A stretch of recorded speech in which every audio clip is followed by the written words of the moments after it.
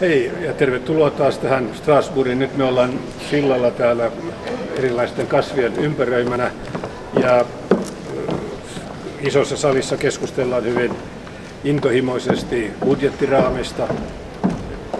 Tämä keskustelu jatkuu sitten seuraavan kerran huippukokouksessa ja, ja tota, ongelma siinä on itse asiassa, että olemme teollisessa mielessä uuden ekologisen teollisuusmallin tuota, kynnyksellä. Ja tämä kynnys tai sen ylittäminen edellyttää, että meillä on budjetti, joka toimii siinä. Ja me olemme tietyllä tavalla eturintamassa, me voisimme itse asiassa muodostua tuota, maailman ykköseksi, jos me vaan pystymme tekemään selkeitä päätöksiä tämän ekosysteemin teollisen ekosysteemin luomisesta. Siinä me tarvitsemme vähän rohkeutta, tarvitaan myöskin tutkimusta, tarvitaan selvää suuntautumista eteenpäin.